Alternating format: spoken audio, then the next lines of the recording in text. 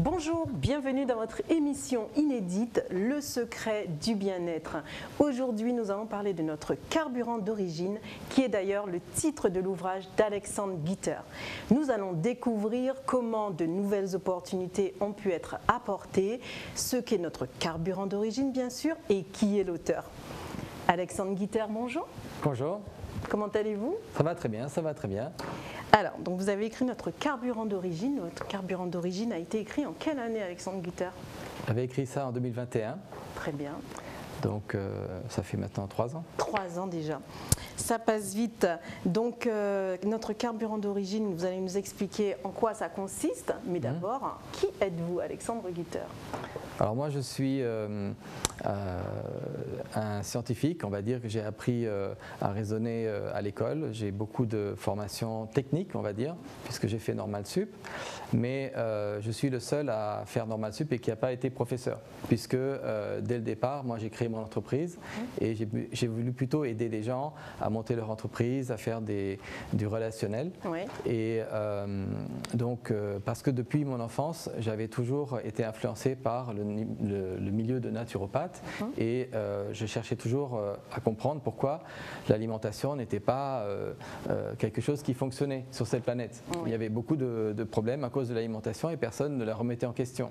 Et moi, depuis tout petit, j'ai remis en question. J'avais par exemple des boutons et je me disais, bon, ben, ça c'est le Nutella, j'arrête le Nutella. Enfin voilà, donc j'ai toujours cherché à- à faire attention. Vous étiez en mode recherche. Voilà, et donc après, donc, j'ai profité de la période de, de- de 2020 euh, pour faire mon livre, euh, sortir vraiment, parce que j'avais commencé à l'écrire. C'est un livre de toute une vie, c'est pas juste un livre euh, d'une opportunité comme ça, c'est un cheminement. Vie, Et ça, ça, ça, ça fait, ça fait part de 40 années d'expérience dans la pratique de ce que j'écris. Mhm. C'est pas juste une théorie, c'est quelque chose que tout le monde peut vivre. Voilà. 266 pages de théorie de recherche, Alexandre Gutter. Donc euh, aujourd'hui, euh, notre carburant d'origine, ça fait référence à quoi exactement? C'est quoi notre carburant d'origine? Si je comprends bien, ben, déjà on parle de carburant quand on met de l'essence dans une voiture. Si on choisit le mauvais carburant, bien entendu, la voiture n'avancera pas. Est-ce que c'est pareil pour nous? Est-ce que si on, on choisit le mauvais carburant, euh, est-ce qu'on va avoir des problèmes? Euh, quel- Oui, j'imagine. Vous êtes là ici pour nous démontrer comment on peut justement remédier à tout cela en mangeant. euh, Voilà, parce que tout le monde mange aujourd'hui l'alimentation traditionnelle sans se poser la question si c'est le bon, le bon carburant. Alors que moi, dès le départ, je me dis que peut-être que tous les problèmes qu'on a, pourquoi les, hôpitaux sont remplis, c'est pas tellement un problème de santé, mais un problème de bien-être. Euh, Est-ce que euh, c'est vraiment ça? Pourquoi on est fait Or, euh, en cherchant un petit peu, eh bien, on peut se rendre compte que notre adaptation, elle est très très loin d'être celle de pouvoir euh, digérer tout ce qu'on met dans notre assiette. Euh, Enfin, moi, je le mets plus depuis 40 ans, mais en tout cas, euh, ce que on met traditionnellement dans l'assiette. Et en plus, c'est démontré scientifiquement. Beaucoup de personnes savent maintenant qu'il y a des problèmes avec le sucre, des problèmes avec les protéines, des problèmes avec les féculents, des problèmes avec les boissons sucrées, les problèmes avec, euh, bref, pratiquement tout. Mais quelle est la solution justement? Quels aliments devons-nous consommer aujourd'hui? Eh ben, c'est de remanger ce pourquoi on a été conçu à l'époque où on a été conçu. Ça fait quand même plus de 50 millions d'années qu'on existe en tant que mammifère. Oui. Et ça fait quelques millions d'années seulement qu'on mange des choses qu'on a inventées. Donc on a inventé beaucoup de choses qui sont bien, mais on a aussi inventé des choses qui ne sont pas bien. C'est vrai que nous transformons beaucoup l'alimentation. Aujourd'hui, nous devons revenir à une alimentation d'origine. Donc, euh, quels sont ces aliments euh, que nous pouvons euh, consommer en priorité, Alexandre? Voilà, donc en tout cas, là, ce- cha- chacun peut le, le- le vérifier par lui-même. Pas besoin de faire des grandes démonstrations. C'est vrai qu'on pourrait croire que manger des aliments sous leur forme naturelle, ça peut être euh, lassant ou pas vraiment euh, goûteux, pas agréable. Alors que c'est bien le contraire qui se passe quand on fait euh, cette, euh, ce- quand on mange le carburant d'origine. Donc qu'est-ce que c'est concrètement? Ben Déjà, il faut éliminer tout ce qui est transformé. Donc évidemment, euh, pas de cuisson, pas de mélange, pas d'assaisonnement, pas de jus. C'est uniquement des fruits tels qu'ils sont dans la. Quand on prend un fruit de l'arbre, on le mange. D'accord Euh, Si c'est un melon, ben on mange le melon. On ne va pas mélanger le melon avec euh, autre chose. On va manger le melon pour le goût du melon jusqu'à ce qu'on n'en ait plus envie. Et euh, après, c'est pareil pour les protéines. Les protéines, c'est un gros problème euh, parce que beaucoup de consommation excessive. Mais en réalité, les premières protéines, ce sont les protéines végétales. Oui. Donc il y a les avocats, il y a les durians. Ce sont des aliments qu'on peut manger en grande quantité quand on mange comme ça parce qu'on a besoin de gras. C'est ça. Quand on a déjà trop de graisse dans notre alimentation traditionnelle, le gras des avocats n'est pas bon, donc du coup, on met de la sauce dessus pour essayer de le faire passer. Mais quand on a vraiment besoin de graisse, l'avocat devient super bon. Donc si je comprends bien et si je résume ce que vous venez de dire, euh, notre carburant d'origine fait référence à des aliments simples que nous trouvons dans la nature, tels que les fruits, les légumes, Mhm. également les protéines non cuites, non assaisonnées, donc pas d'assaisonnement surtout. Mhm. Et il faut les manger justement de quelle manière, Alexandre Gutter Comment devons-nous euh, ben, euh, intégrer ces aliments dans notre alimentation aujourd'hui et euh, pour atteindre jusqu'à la meilleure façon possible de les manger, tel que vous le faites aujourd'hui? C'est ça. Alors, il y a plusieurs étapes. Je dirais qu'il y a cinq étapes progressives pour arriver à s'habituer à cette nouvelle alimentation pour ceux qui ne la connaissent pas. Beaucoup de personnes font déjà euh, des régimes ou quoi, mais en tout cas, là, c'est vraiment revenir aux sources. D'accord? Donc, on ne va pas le faire d'un coup. Moi, ce que je propose, la première étape, c'est déjà de prendre un repas dans la journée, ça peut être celui midi, où vous décidez de ne pas manger autre chose que des fruits. Donc, les fruits en dessert, ça ne sert à rien. Par contre, faire un repas de fruits, là, on est déjà dans quelque chose qui a du sens. Est-ce qu'on doit mélanger le les fruits, Monsieur Gutter? On peut mélanger les fruits à condition de les manger séparément les uns après les autres. C'est-à-dire qu'on peut commencer avec les fruits les plus acides, comme par exemple euh, les ananas, euh, les, euh, les, les euh, ou des, des litchis, etc. Et après, on peut aller jusqu'au plus sucré, en passant par les, les papayes, les mangues, et puis les bananes. Après, il y a les jacquiers, il y a les dattes. Dans un même repas, est-ce qu'on peut faire un mélange de fruits ou est-ce qu'on mange un seul fruit, on choisit un ou deux fruits ou est-ce qu'on peut donc si je comprends bien, il faut séparer les fruits sucrés des fruits acides. Donc ça c'est la première chose. Mais la deuxième chose, est-ce qu'on peut les mélanger? Est-ce que par exemple je peux faire une salade de fruits avec Surtout pas. fruits? Surtout Voilà, pas. ça. En fait, on peut commencer par manger un, un aliment acide. Pourquoi? Parce que si on mange tout de suite un aliment sucré, on n'aura plus le plaisir de manger l'aliment acide parce que ça va lui enlever toute sa saveur, puisque le- il y aura déjà trop de sucre en nous. Et donc le corps dira on n'a plus besoin d'aliments du tout. Quoi. Donc si on commence avec des aliments acides, il y a déjà toutes les vitamines qui commencent à être assimilées sans être saturées en sucre. Et après, on peut finir avec euh, les énergies qui viennent du sucre directement pour euh, finir euh, le repas. Donc ça peut être ça pour un repas d'une fois, c'est l'étape 1, une Donc- fois dans la journée. Matin ou midi Ou de les deux. préférence. De préférence. deux, si on veut, le si on matin, a ce serait par exemple les pastèques et les melons ou les oranges au choix. Hum. Et puis euh, après, refaire à midi un repas avec des fruits euh, un peu plus consistants. euh, parce que ça, ça, ça se digère très très bien seul, les, les- les melons et les pastèques. Alors que les autres fruits, on peut les mélanger entre eux euh, pour en avoir euh, au moins deux, trois euh, variétés différentes dans un repas. Très bien. Donc, Et le, ouais, voilà. Et le, et le- alors, donc ça, c'est l'étape 1, manger des fruits. Deuxième étape, ce serait de mettre dans l'alimentation de la- du soir Mhm. des légumes crus à la place des assaisonnements, enfin des, des accompagnements cuits des, des protéines. Donc, par exemple, si vous mangez de la viande, au lieu de manger la viande avec des frites, Oui. ben, mangez la viande avec des salades ou avec des euh, choux-fleurs crus ou avec des euh, carottes crues Des choux-fleurs crus, d'accord. ou avec euh, des petites crudités comme ça. Assaisonner ou non, c'est pas le problème encore. Pour l'instant, c'est de s'habituer, grave, d'accord. c'est de s'habituer déjà à la crudité en soi. Et comme elle est déjà mélangée avec la viande, ça, ça- ça change juste que vous allez vous habituer à ressentir euh, le, le vrai goût d'un aliment et pas de, de le transformer. Doit-on choisir une viande en particulier? Est-ce qu'il y a des, des viandes qui sont proscrites ou Non, pas alors quand on est dans la- dans l'étape 2, Deux. vous mangez tout ce que vous avez l'habitude de manger sans, en termes de protéines. Il n'y a pas de, de Donc, modification. Sans légumes cuits, donc on choisit des légumes crus. Voilà. Troisième étape. Et la troisième étape, c'est de dire maintenant, c'est les protéines qu'on va chercher à rendre crues. C'est-à-dire le matin et le midi, ce sont des fruits, pas de problème, rien d'autre. Le soir, enfin, euh, ça va être donc un repas de protéines classiques Oui. avec des, repas, des, des crudités après. Oui. Mais après, ça va être aussi, par exemple, des repas de, de protéines crues. Alors, celles qu'on a l'habitude de consommer crues, c'est les huîtres. Oui. Par contre, il va falloir s'habituer de les manger sans citron, Hmm. parce que c'est ce qui change justement le goût et qui fait qu'on peut en manger trop ou qu'on peut en manger une qui est avariée.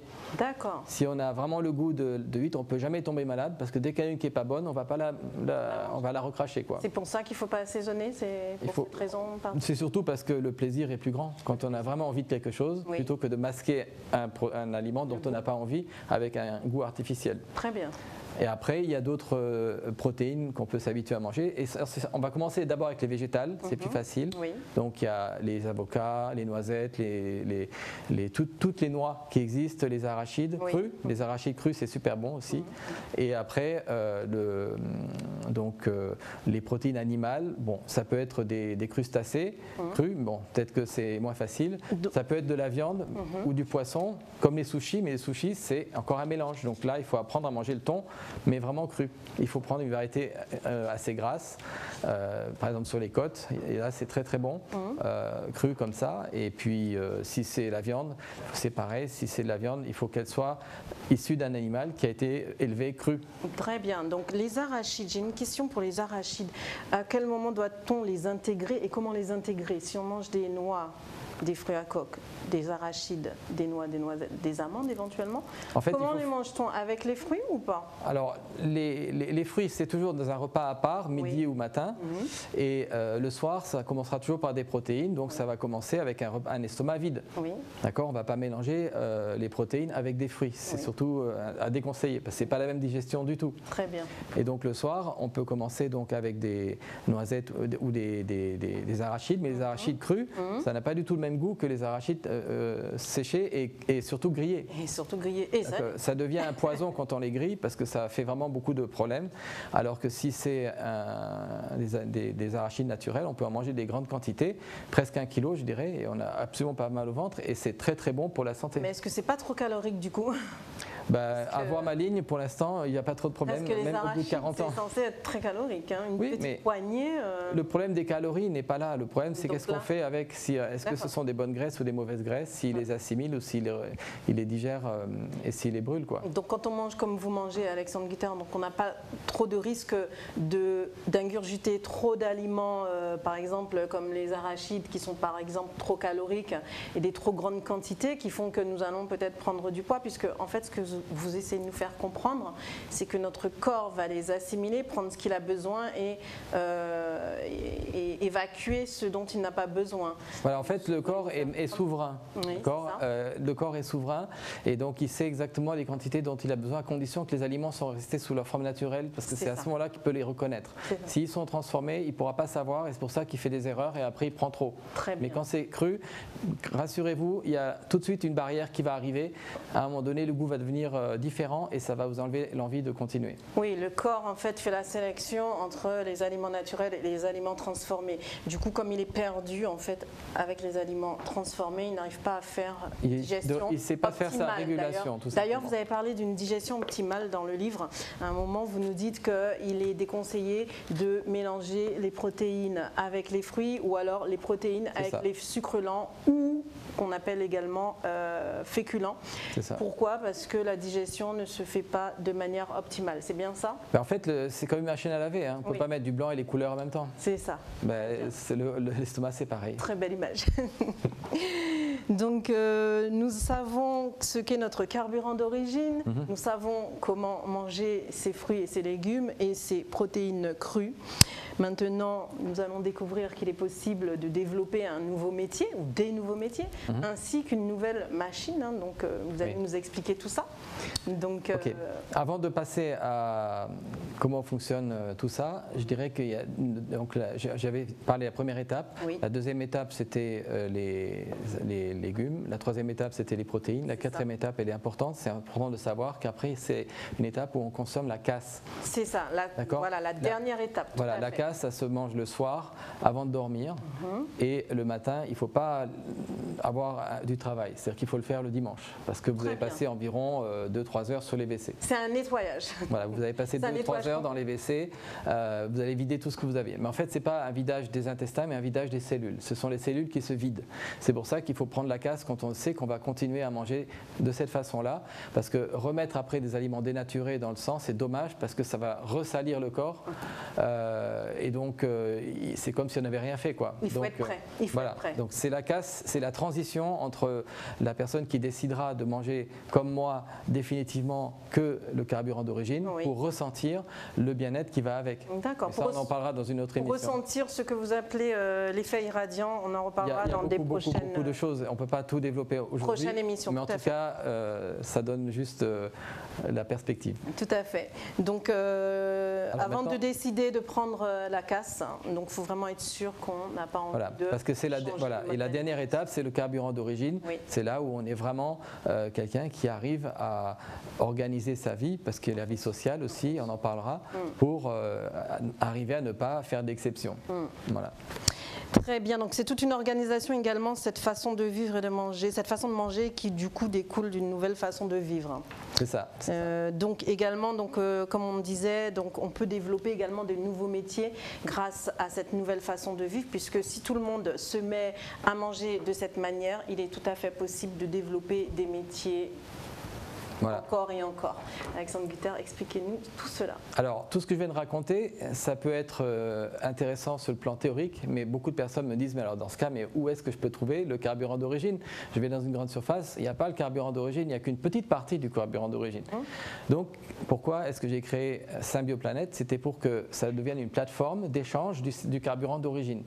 Donc, symbioplanète.com est un site sur lequel déjà, un, une personne peut géolocaliser Oui. en tant que consommateur euh, tous les aliments dont il a besoin près de chez lui ou dans le monde entier. C'est-à-dire qu'il va, il va cliquer, euh, rechercher euh, par exemple goyave et il va chercher et il va trouver, comme sur le Bon Coin, ben, toutes les personnes qui ont de la goyave à vendre dans un secteur avec un rayon autour de, autour de chez lui. Donc ça peut être des commerçants, des producteurs avec leur prix.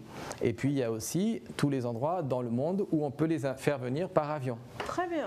Donc ça, c'est première étape, La- la, la première chose que Symbioplanète permet. Deuxième chose, eh bien, on peut aussi euh, faire des stages d'apprentissage. Mhm. C'est-à-dire que quelqu'un qui ne sait pas encore comment pratiquer le- la consommation du, du carburant d'origine peut venir s'inscrire un dimanche. J'organise, si, euh, en fonction de la demande, euh, des stages où les personnes, en une journée, ils vont manger Mhm. sur place et je leur expliquerai comment faire. Très bien. Donc, leur faites déguster des fruits, des légumes. C'est ça. Donc ça, c'est pour les gens qui habitent en. Guadeloupe. C'est sur la journée? C'est ça. Maintenant, les gens qui habitent en métropole, ils peuvent organiser un voyage, un voyage découverte. C'est-à-dire qu'avec une semaine euh, complète, j'organise le séjour et euh, toutes les euh, disciplines qu'il va falloir faire dans le stage d'apprentissage. Très bien. Donc, euh, Et après, il y a devenir symbioseur pour Ouais. gagner de l'argent, faire connaître euh, la, la chose. Symbioproducteur, les gens qui ont des terrains, les gens qui ont des arbres dans leurs euh, fruits, dans, dans leur, voilà, des arbres fruitiers dans leur jardin. Des gens peuvent faire des donations. Voilà, donc c'est ça, Symbioplanète. peuvent également euh, devenir producteurs. Donc Symbioplanète, hein, ce sont des producteurs et ce sont également des symbioseurs. Donc les symbioseurs, ce sont ceux qui euh, utilisent les fruits et légumes et qui les mangent à votre façon, qui va découler également des symbioproducteurs, donc qui vont décider de produire du coup. C'est ça, donc et en puis, fait. euh, euh, vous avez toute cette organisation autour qui est faite. C'est ça. Et donc du coup, si les gens veulent avoir plus d'informations, ils peuvent aller sur symbioplanète.com. c'est ça. Voilà, mer- merci beaucoup Alexandre Gutter pour toutes ces informations. Notre carburant d'origine est disponible en contactant Alexandre Gutter ou en allant sur le site internet symbioplanète.com. Vous avez toutes les informations, le contact. Et si vous décidez vous aussi de vous mettre à cette nouvelle mode, à ce nouveau mode d'alimentation, eh bien vous comprendrez que c'est très important pour vous puisque la santé, le bien-être, aujourd'hui, c'est ce qui est capital. Et puis, euh, vous aurez fait un grand pas en, vous sauvant vous-même et puis en sauvant du coup la planète. On verra dans les nouvelles émissions, les prochaines émissions, euh, comment le carburant d'origine peut contribuer à faire beaucoup plus. Suivez-nous puisqu'il y aura beaucoup, beaucoup d'informations très intéressantes. Vous allez découvrir beaucoup de choses avec Alexandre Gutter. Je vous dis à très bientôt. Merci de nous avoir écoutés. Merci Alexandre Gutter pour toutes les informations. Et euh, je vous dis à très bientôt. À bientôt.